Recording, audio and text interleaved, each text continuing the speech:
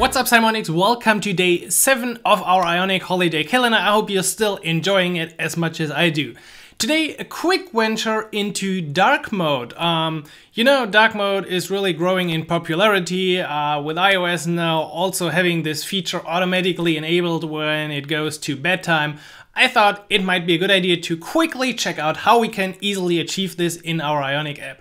So I've prepared a tabs application, it just started the tabs layout and I also already installed the Ionic storage package. So basically what I ran so far is install the Ionic storage and generate a new service for our application because um, it is good to automatically do this, but perhaps you also want to enable a little toggle inside your app where users can also um, manually choose to switch their theme.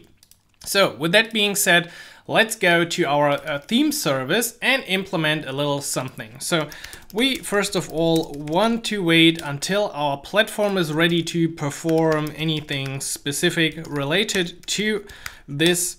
So we go ahead in here and now we have a simple media query that we can use to um, see if the preferred color scheme changes. So there are actually two ways to do this. So if you go to the Ionic page, you will see that there's also a way to do this directly from CSS.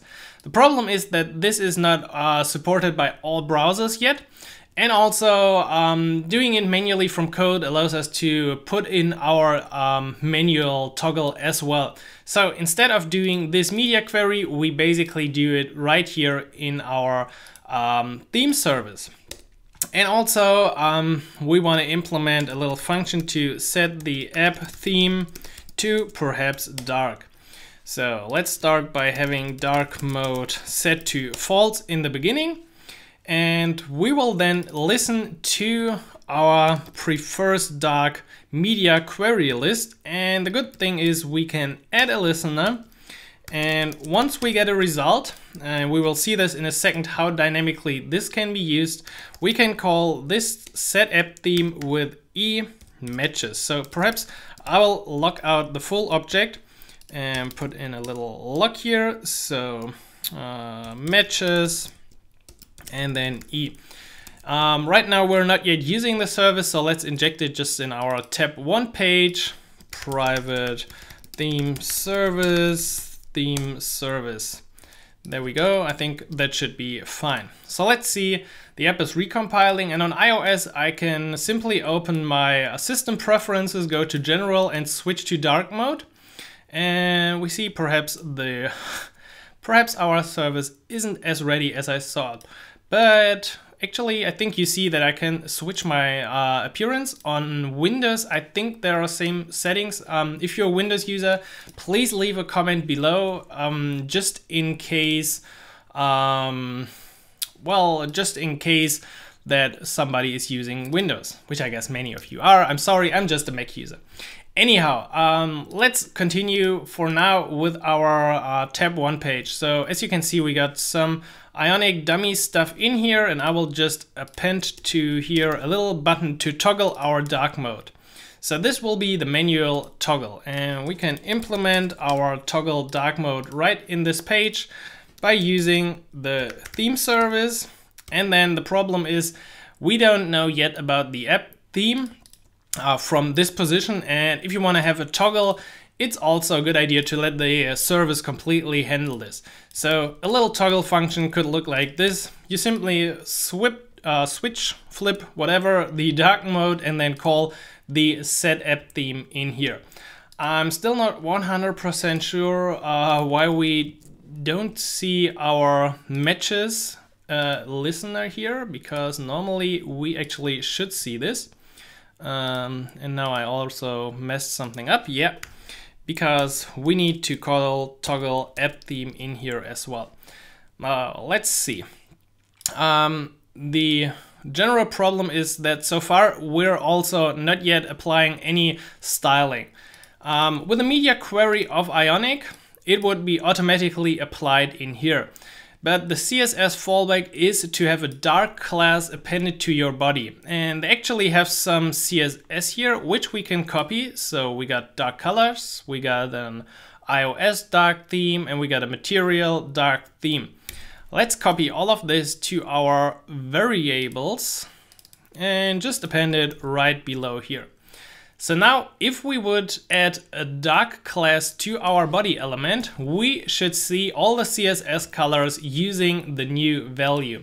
And that's simply the idea of our theme service set app theme.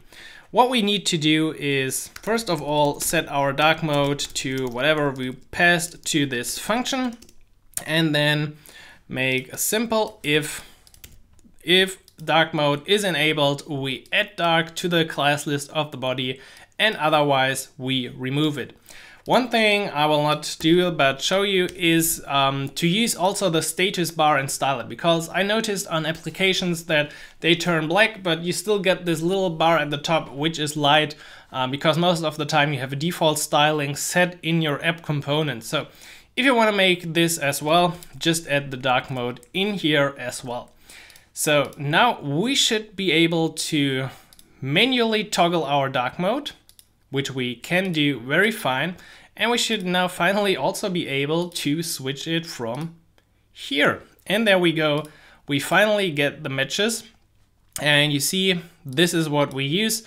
Uh, the matches in here, which automatically calls our function once again. And you see, because we're setting the CSS variables, everything in our application turns to the night dark theme.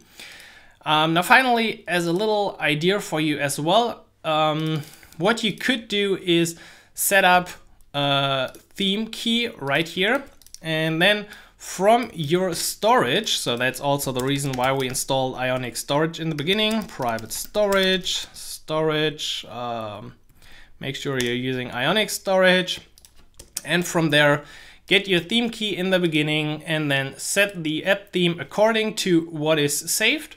And whenever you call set app theme, you also set this value. This is just an idea um, if you want to have this uh, manual switch in here. So switching it to dark mode, no. And reloading it would make it dark in the next time as well. So this is just a matter of setting the preferences, um, but now it works both ways, both from the OS settings and also manually. So this also works for like a general theme switch.